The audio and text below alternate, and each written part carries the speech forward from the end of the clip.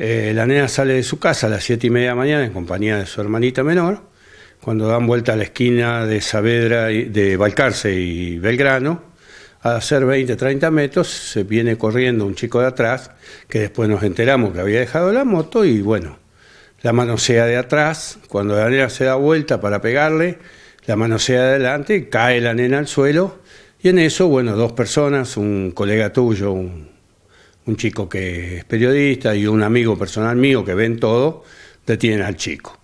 Mientras le avisaban a la mamá que estaba a la vuelta. Cuando la mamá llega y lo ve en, el, en el patrullero con la cabeza tapada, le, le pide a los policías que este, lo dejen verlo para, para conocerlo, a ver quién era, a ver si era conocido. No, no, no, lo dejan ver y se lo lleva. A la hora, yo me fui al- con la madre de la nena, nos, me fui a, a la comisaría, que fue donde nos encontramos a la salida, y bueno, en la comisaría me dijeron que estaba incomunicado, que había mentido el nombre, que había mentido la edad.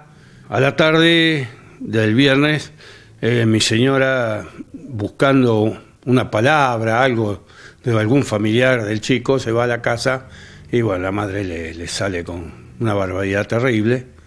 Este, le dice, entre otras cosas, que lo que tendría que hacer nosotros es retirar la denuncia si el chico sale rápido. Una cosa, viste, sin, sin, sin ton ni son. O sea, entonces ahí nos dimos un puesto un poquito lo que alguien me había dicho que el chico tenía un problema psicológico. Nosotros consideramos que no tenía que estar en la calle un chico así, porque hoy me toca a mí y mañana le toca a otro y el chico, si sale rápido, yo traté de convencer a la madre la nena, y si el chico sale rápido va a volver a, a delinquir, total, en, un ratito sale.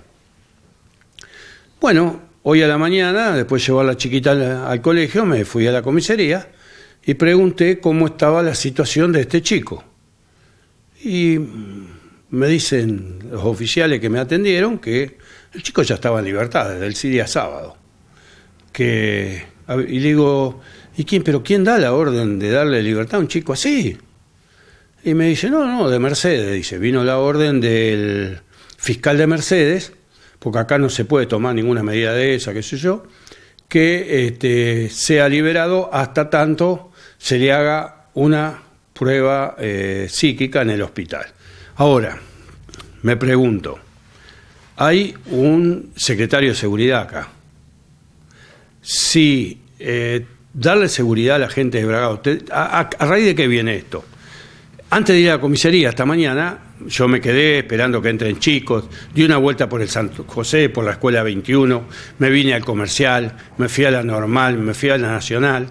Bueno, nacional sí porque están los patrulleros ahí. Nada, ni un patrullero dando vuelta. Ni el señor Burga dando la cara, que yo, eh, siendo un ciudadano de Bragado, yo lo que hubiera hecho, un, o siendo un secretario de, un ente tan importante como la seguridad, yo lo, lo menos que hubiera hecho y no te digo en Capital, en La Matanza, en Loma de Zamora, no, pero Bragado nos conocemos todos, haber ido a la casa y preguntarle si necesitaban algo, que iban a hacer lo posible para que nos... Una palabra de, de que te dé a vos una seguridad, no, no apareció nadie. No vino ningún asistente social que la tiene que mandar al municipio a ver qué está la nena, cómo está la nena, nada. A nadie le importó.